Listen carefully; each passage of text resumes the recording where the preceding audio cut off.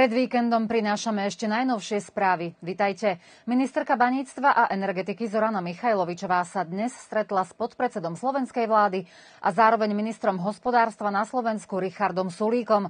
Hovorili o spolupráci a spoločnej realizácii projektov dvoch krajín v oblasti energetiky. Michajlovičová povedala, že sa dohodli na konkrétnych projektoch. Minister Sulík potvrdil, že obe krajiny majú veľa spoločných tém a že je tu široký priestor na spoluprácu, mysliac napríklad napríklad na oblasť energetiky či európsku integráciu, v ktorej má Slovensko už veľa skúseností a môže pomôcť Srbsku. Michajlovičová prijala pozvanie zúčastniť na zmiešanej konferencii začiatkom novembra v Bratislave. So slovenským ministrom hospodárstva Richardom Sulíkom dnes hovorila aj premiérka Anna Brnabičová. V rozhovore sa sústredili na bilaterálne vzťahy a prizvukovali, že politická spolupráca oboch krajín je na výbornej úrovni a spolupráca v ekonomickej sfére sa stále zlepšuje. Sulík potvrdil, že Slovensko podporí európsku cestu Srbska a ponúkol pomoc rezortných ministrov vlády Slovenskej republiky. Tiež zhodnotil, že okrem rozhovorov o ekonomike a tovarovej výmene je nevyhnutné otvoriť aj ďalšie témy. Osobitne počiarkol inovácie, čo premiérka Brnabičová ochotne prijala a ponúkla spoločnú prácu aj v tejto oblasti. Všetky zdravotnícke inštitúcie sú pripravené na očkovanie proti sezónnej chrípke, ktoré začne 15. októbra. Zabezpečených je zatiaľ okolo 700 tisíc dávok. Najnovšie stanoviská Svetovej zdravotníckej organizácie a Národného výboru pre imunizáciu hovoria, že vakcína proti chrípke a vakcína proti koron- koronavírusu môže sa prijať súčasne. Odporúčajú však, aby obe vakcíny neboli aplikované do jednej ruky. Všetci občania, ktorí majú záujem prijať vakcínu v ktorejkoľvek fáze, teda prvej, druhej či tretej, od pondelka 11. októbra sa môžu dať zaočkovať opäť na starom mieste, teda v priestoroch komplexu bazénov medzi starou a novou pazovou, kde bude očkovacie stredisko presťahované. V ponuke sú aktuálne vakcíny Pfizer, Sputnik V a Sinopharm. Stále platí, že na prvú dávku sa musí občan zaregistrovať cestou elektronickej správy na e-úprava a bude cez SMS-ku pozvaný na presný termín termín. Na druhú dávku je občan automaticky pozvaný tiež SMS-kou a ak má záujem aj o tretiu dávku, nie je potrebné sa registrovať, ale z Domu zdravia odporúčajú zavolať na telefónne číslo 062 763 389 a dohodnúť si termín, aby sa predišlo tlačenici a dlhšiemu čakaniu. Pracovný čas očkovacieho centra v priestoroch bazénov bude od 8. do 14. hodiny. A ešte čerstvá informácia z Ústavu verejného zdravia Sriemska Mitrovica. Za posledný deň bolo v celej Starej Pazove zaregistrovaných 40 novonakazených. V rámci detského týždňa sa v divadelnej sále v Starej Pazove bude konať 19. ročník detského hudobného festivalu Mini Tiny Fest. Organizátorom je Stredisko kultúry Stará Pazova s podporou lokálnej samozprávy a na tomto ročníku očakávajú zajtra 9. októbra okolo 100 účastníkov, medzi ktorými sú zarátaní nielen speváci, ale aj chóry či sprievodní tanečníci.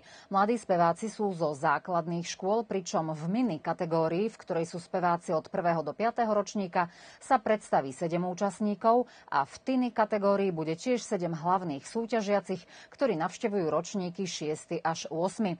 O víťazoch bude rozhodovať porota v zložení umelecký riaditeľ festivalu Jovan Adamov, skladateľ Ládo Leš a hudobná pedagogička Radmila Andrejevičová. V nesúťažnej časti programu sa predstavia víťazi z roku 2019. Programom bude sprevádzať detský animátor Banne Rosič. Cena vstupenky je 250 dinárov a festival začína zajtra o 18. hodine. Ešte pozvánka do kina a aj na koncert. V pondelok a útorok 10. a 11.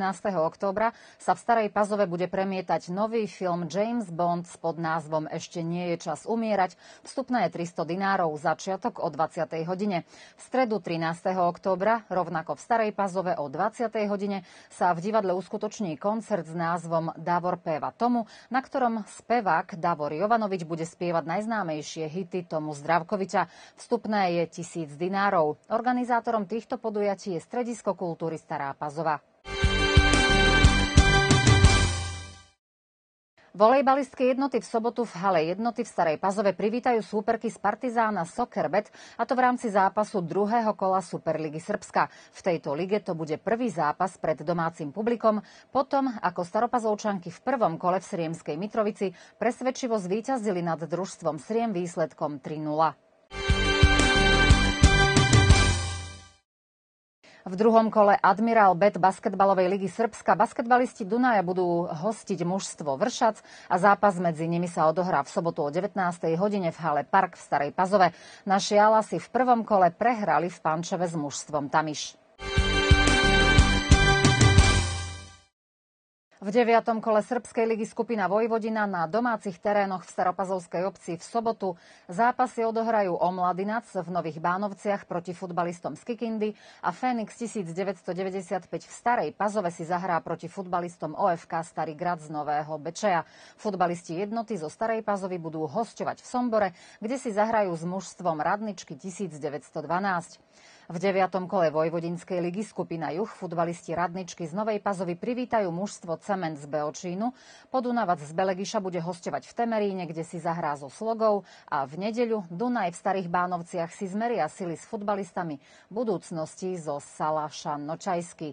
A ešte deviate kolo Sriemskej ligy Jadran z Golubiniec v nedeľu na domácom teréne privíta borcov z Klenku a Sremac z Vojky ako domáci pohostí futbalistov Slovenu z Rumy. Všetky zápasy začínajú o 15. hodine.